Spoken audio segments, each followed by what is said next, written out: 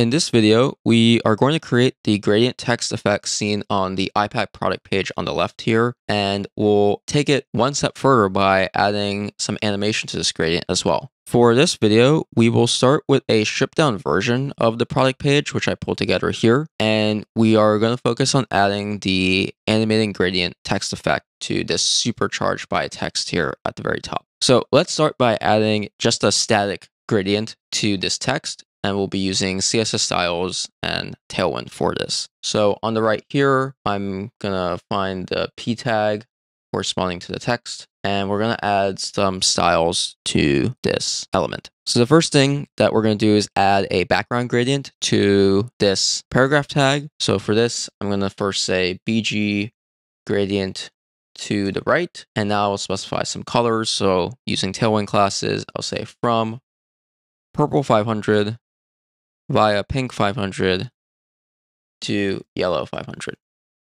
So this is just Tailwind's way of saying, okay, we want a background here that's a gradient that will go from left to right. On the left, we'll start from this purple color. On the end, we'll get to this yellow color. And in the middle, we'll be at this pink 500 and then we'll generate the gradient. So hit save here, we'll see that the background shows up as we expect uh, with this gradient going from purple to yellow left to right. But now we want to clip this to the actual text itself. So for this, we'll add bg clip text, which will apply the background clip text CSS property. Now if I hit save, you'll notice that the background actually disappears and it's still white text. And this is because we are still explicitly telling that the text should be white, which is overriding this gradient. And so we will Finally, just change this text white to a text transparent instead.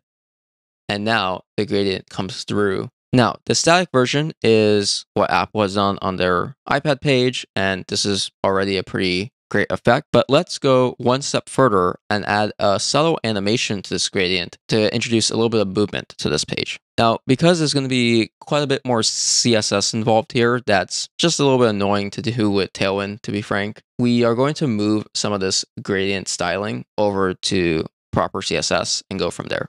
So let's go into the global styles file. And in here, I'm just going to first start by recreating this gradient effect just using CSS.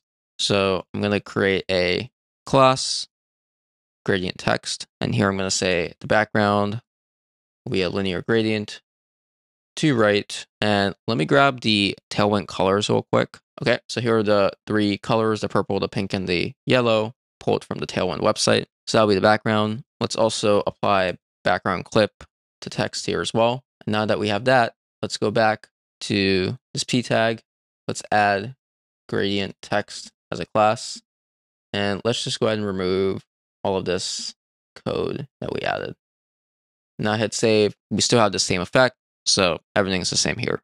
And now let's create this animating gradient effect. So what we're going to go for here is we're going to have the gradient move and shift from left to right. And so we'll see as time goes on, this yellow should start moving towards the left. But we want to have this nice infinite effect for the gradient. So it goes from purple to yellow and then as it animates, it'll go from yellow to purple and it'll keep moving to the left and go back to purple and yellow and start again and repeat infinitely. To achieve this effect, because we can't define an infinite gradient here, we are going to use a little trick by repeating this gradient pattern a couple more times and then have that repeated effect move from left to right and then have it reset essentially when the end of the gradient repeat matches the start and then it will reset and it'll go again and again and again. So let's start by first creating this repeating gradient. So we'll go back to the styles here. And what I'm going to do is I'm going to extend this linear gradient to have more colors. So we'll have this go purple to pink to yellow. Then we'll have it go back to pink, back to purple, and then again pink and yellow. Now if I hit save, you'll notice that we have now this repeated gradient, purple to yellow, back to purple, back to yellow. And we'll notice that the first third of the gradient is exactly the same as the last third of the gradient, which is what we're going for. So now to get back to just one iteration of the gradient, we need to scale up this background to 300% so that it only has the first third of the gradient show up with text. So for this, we're going to apply a background size 300% in each direction. And now you can see we're back to what we had before of just purple to yellow. But then we know that the gradient continues beyond the text, yellow back to purple, and then purple back to yellow. Now, for the effect, we'll want to shift this position of the background and have it shift towards the left here. And so for this, we are going to define an animation and some keyframes. And for that, we are going to actually go ahead and just configure them in the Tailwind config file itself uh, as an easy place to do this. So here underneath plugins, we can also add a theme property here of the config, and we can extend it. I'm going to define a couple things here. First, I'm going to define some keyframes, and I'll call this keyframe set gradient, and we'll say at 0% or at the start of the keyframe, we want the background position to be 0%, 50%.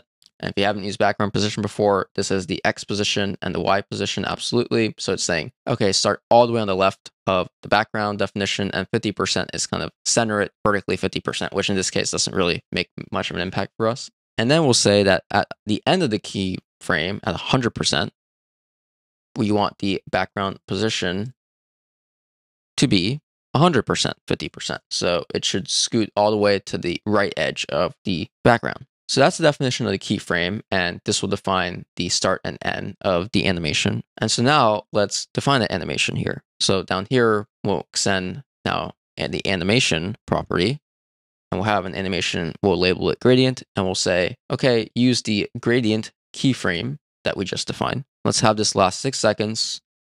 Have it be a linear animation and repeat infinitely. So now we've defined this. Let's go back and attach this animation to this p tag. And so for that, we can just go back here and just say animate and then pass in the name that we gave it, which is gradient, which is already auto completing for us. And now if I hit save, we can see that this gradient is now animating left to right. And you can see once we get back to purple to yellow, it seems like it just keeps going infinitely, but we know in the background what's going on is it's resetting back its position back to 0%, which is what this infinite does here. So with that, we've created this animated gradient text. If you have any questions, feel free to drop them down in the comments below. And on screen now is another video for you to check out next, and I'll see you in the next video.